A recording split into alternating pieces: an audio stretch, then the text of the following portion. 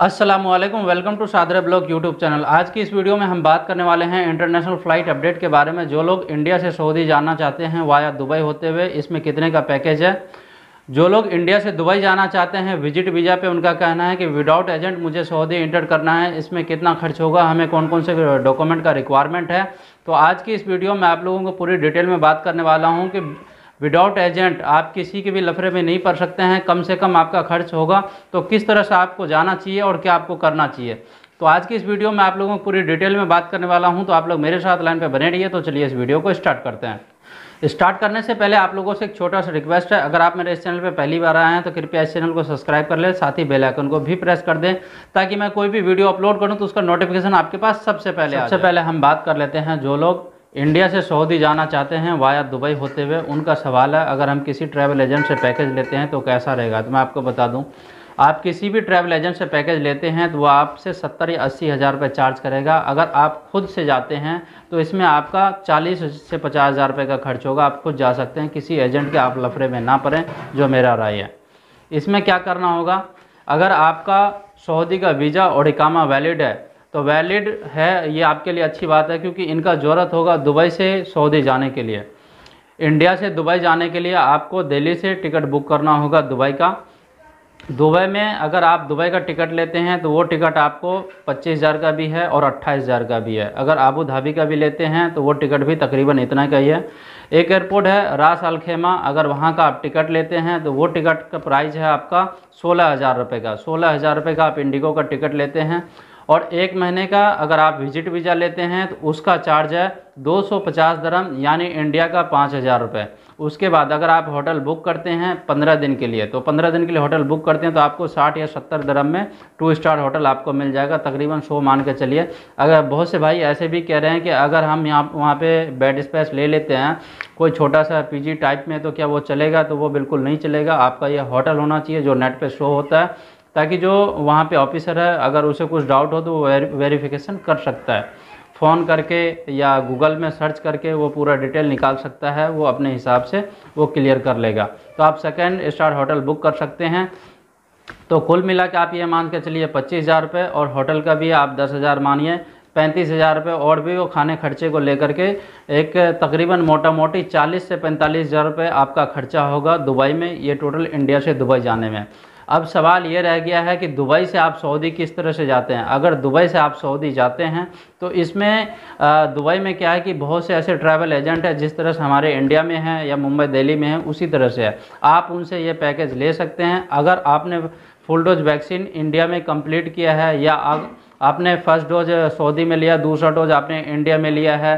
तो इसमें क्या है कि आप अदर कंट्री ही माना जाता है। अगर आप फुल डोज वैक्सीन कंप्लीट किए हैं सऊदी में तो ये आपके लिए बहुत अच्छी बात है। आप बीस या बाईस हज़ार पर टिकट लेके डायरेक्ट जा सकते हैं।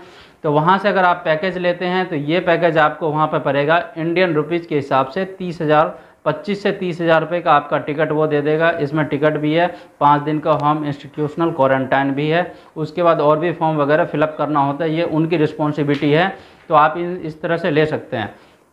तकरीबन आप ये मान के चलिए कि साठ से पैंसठ हज़ार रुपये में आप बिल्कुल सऊदी पहुँच जाएँगे अगर आप छुट्टी पे आए हैं तो। अगर आप दुबई में काम करते हैं या दुबई किसी काम से जाना चाहते हैं या कोई नौकरी ढूँढने के लिए आप जा रहे हैं तो आप विज़िट वीज़ा लेकर के जा सकते हैं।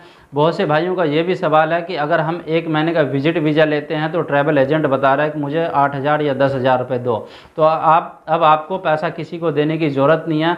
आप खुद से आप विज़िट वीज़ा परचेज कर सकते हैं एक महीने के लिए। ये विज़िट वीज़ा किस तरह से परचेज किया जाता है, आप नेट पे क्रोम में जा कर के लिखिए W W dot Emirate airlines या इमिरेट जो वहाँ का पोर्टल होता है दुबई का, आप उस पर सर्च मारिए और मारने के बाद ये पूरा डिटेल आ जाएगा जो वीज़ा की कैटेगरी है। इसमें पूरा शो होना शुरू हो जाएगा। तो आप उनसे परचेज कर सकते हैं बहुत आसान तरीके से।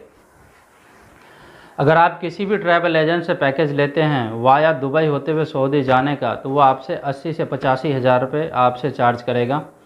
और सत्तर हज़ार भी ले सकते हैं। बहुत से ऐसे लोग हैं, कोई पिछहत्तर में भी गया, कोई सत्तर में भी, कोई अस्सी में भी, वो एजेंट के ऊपर डिपेंड करता है कि आपके घर के पास कैसा एजेंट है, आपकी उससे किस तरह से मिल सकते हैं। दूसरा ऑप्शन आपके पास ये भी है कि वाया नेपाल होते हुए आप जा सकते हैं बहुत आसान तरीके से। इसमें खास करके ये उन लोगों के लिए भी अपडेट है जिनका न्यू वीज़ा है, सऊदी का न्यू वीज़ा जिन्होंने ले लिया है, वो वाया नेपाल, वाया दुबई होकर के भी वो जा सकते हैं।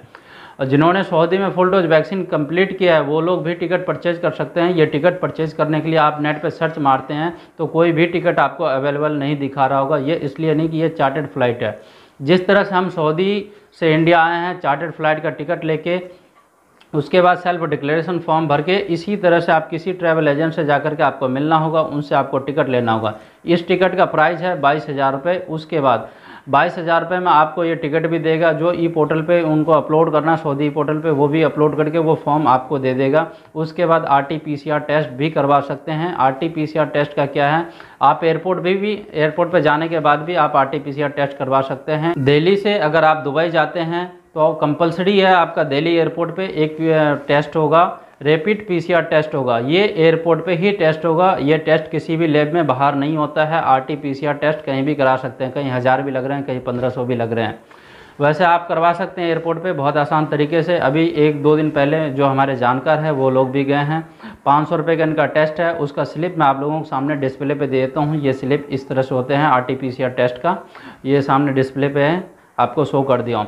जो दूसरा अगर आप एयरपोर्ट पे जाते हैं, वहाँ जो आपका टेस्ट होगा तीन हज़ार नौ सौ रुपये का, वो स्लिप भी मैं आप लोगों को सामने डिस्प्ले पे दे दिया हूँ। इस साइड आप इन्हें देख सकते हैं।